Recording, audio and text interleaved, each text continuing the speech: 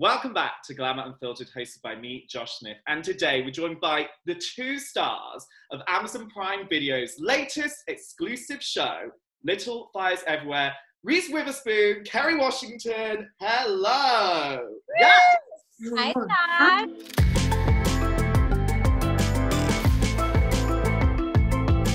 That was quite the intro. Babe, you know, we've got two queens in the house and you deserve the hype.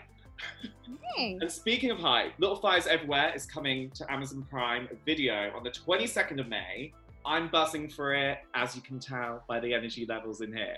But one of the things which I'm obsessed with about it is it raises so many important discussions that we need to be having in our society today, especially around the concept of what constitutes a woman, right?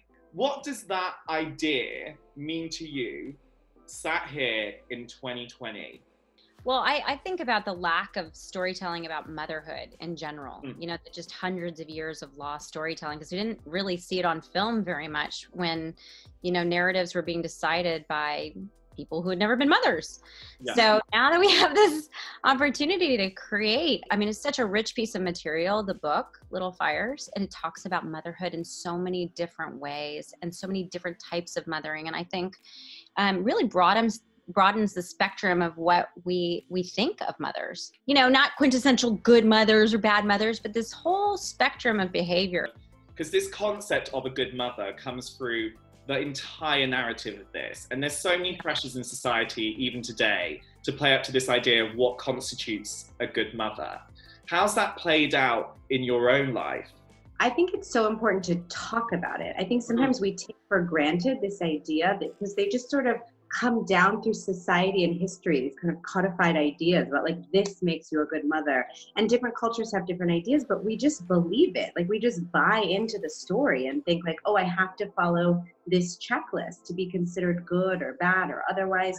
I love that we are that we created this project where we actually get to step back and think about it and talk about it. It has made me it has made me think more about having a little bit more compassion for myself even as a mom especially in this time where there's so many different pressures. Right now we're being asked to like run companies run households be teachers or teachers assistants. Like you know we're there's so much it's we can't do it all perfectly. We we actually literally cannot do it all perfectly. Mm. so to kind of re-examine that that message that we're even supposed to is really freeing and exciting. Yeah. And that whole concept of the working mother is such a complex thing because with that comes pressure because you're constantly like am i giving enough to my career? Am i giving enough to my family? Like has that been difficult for you guys? I'll start to get really excited, Josh, when you start to ask dads in your interviews. Yeah. What their work, you know, work-life balances or what it's like to be a working dad. Like we don't even use the terminology hmm. working dad, it, and I think that undervalues the role that men play in the home. To just Yeah. assume men are supposed to work and that they also don't have pressures. It's different, but that they also don't have pressures. So I'll be excited in your next interview to watch when you're interviewing some dad about what his work life balance is. My job is to really just kind of do the things that I feel called to do and meant to do and to set that example for my kids. Like guilting myself or not chasing my dreams or um, making myself feel bad or you know all of those things are would be detrimental to my role as a mom like part of being a mom is also being gentle and kind and loving to myself so that my kids see that that's the example of what we're supposed to be and strive for Oh my god, for sure. And bringing up that point of the fact we don't ask men in the public eye what it's like to be a working dad because we Yeah. don't. That doesn't happen. and this is obviously set in like 1997. And we've come so far in terms of equality even since then, because we think of that quite as like a recent time period. But going back to this time, 1997, and also being a person in 2020, how far do you think we've come in that time? And actually returning to that time, did you actually be like, well, actually, we haven't come as far as I thought we had?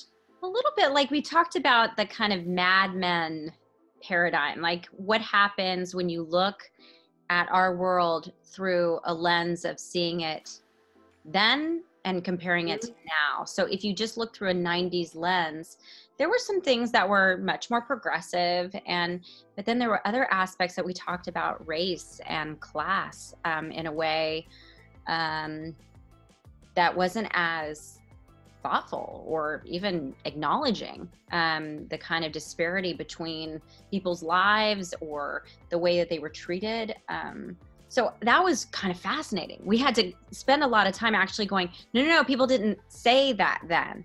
Mm. Um, and, and, there were expressions that people used like colorblind, I'm colorblind, um, which we now know is very insensitive to, to not deny somebody part of who they are but just playing with all of that was actually really uh, incredible to have those tools. And Kerry and I grew up in the 90s, so we were actually teenagers yeah.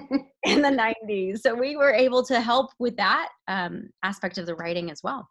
Mm. When you think back to the you in 1997, if you could sit them on that Zoom call and they were here, right here, that's me, what would you want to say to them? What kind of advice would you want to give them? Oh my God. Like when you ask me that, all I want to do is hug her. I just want to like, it's gonna be okay. It really is gonna be okay. I think I would tell her to stay with herself. You know, I think like kind of on the journey through life, I've noticed times when I've abandoned myself to be a pleaser or to try to fit, live up to somebody else's idea of who I'm supposed to be. So just I would I would really invite her to try to stay with herself as much as possible. What would you say to the 1997 you, Reese? Ah, don't worry so much. So worried. Just yeah. worried, and I think that I I spent a lot of time worrying about things that really didn't matter. Mm. You know, and and I was it's not entirely my fault. Culture kind of told young women they had to worry about things that you know what we value about women is then is very different than what yeah. we value about women now. Mm. so i would just say hold on sister it's about to get a lot better. Yeah. What kind of things would you worry about then? Body image um you know uh not being enough not or being too much for people. My ambition was too big my ideas were too strong. I was a little too loud too friendly too upbeat too emotional.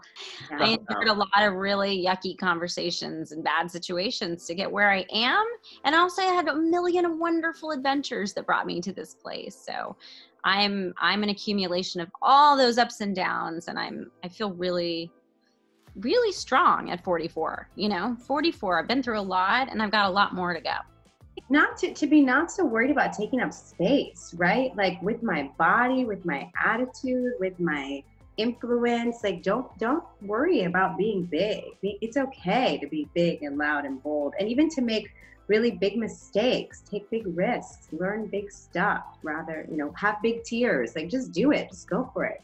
This mm. one precious life is all you got. yes because it is interesting because this idea of always saying you're to something seems yeah. to always in media in press in society does tend to get attached to women more than it does to men 160% even now that's still happening. It's true. It's true. For me especially i think this project has been so much fun and so special because there really is so much power in partnership with women and to be working with a woman like Reese, who is not afraid to take up space and who's not afraid for the other women around her to take up just as much space and to have a voice as loud as hers and, and instincts and input that's welcome. Like it's just really so wonderful to be in an environment where there's not a limited slice of the pie. Like there's room for all of us and all of our bigness. And that's how we cook up these exciting, creative adventures together. You guys have set up your own companies. You are rewriting the rules, which is what your characters try to do in Shaker Heights as well. What do you think is a turning point for you guys in setting your own rules? And what is kind of the rule that you will continue to live by from here on in, do you think? It's such a good question. Think you know a lot of things are shifting and changing in our business. You know we're seeing a lot of um, different ways that people are consuming media. The the big powerful industry titans that were so important when when kerry and i first started um, it's not the same. Everything is shifting and that there's room for different voices and different perspectives.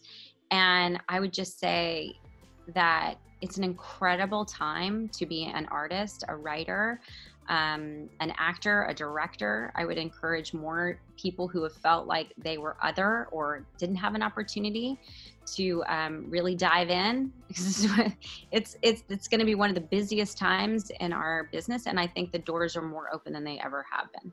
Hmm. I feel like now, particularly in this pandemic moment, like we're really all realizing how little power and control we have um, because there's so much unknown. Things are changing every day, but if but if we can just stay present with each other, like open-hearted, honest, I feel like we have a shot to make it through each day, maybe moving a little closer to who we want to be as people, as a culture, as a society, as a world, you know. And one of the things mm-hmm. that I loved about this narrative is it really shows how society othered people, how it stills others people, and how important it is that we are all allies to one another. How important is that message to both of you? And how's that played out in your own lives, that sense of allyship? I think about that a lot. I, it's so important to me that young women feel supported and mentored in every business but particularly our our business where media is so pervasive and it can be very influential in young people's lives. I want to create spaces where people can tell their stories and feel seen and valued. So it's really important to me and partnership female partnership as kerry said so beautifully is so important to me because for so many years we were uh, told to sort of think about it as a competitive space that there was scarcity. And i I just don't think that's I just don't think that's a winning principle either. I think abundance is what I kind of meditate on, that creativity is abundant and relationships and the ability to create is everlasting, but it's infinite when we partner with each other, particularly mm. people who have been told not to partner with each other. right. That's right. I think there's something so special about this show now living in, on a global stage, particularly in terms of how we explore the idea of race.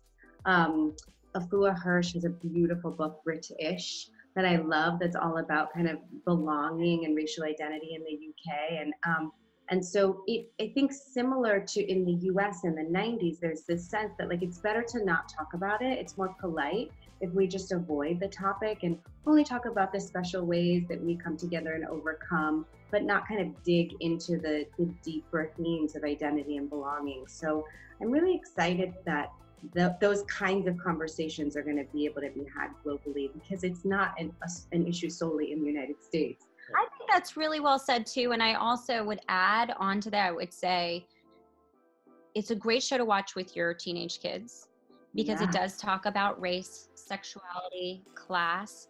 And mm-hmm. if you're not talking with your children about those things, they're talking to somebody else and getting ideas from somebody else. So it's a great conversation starter.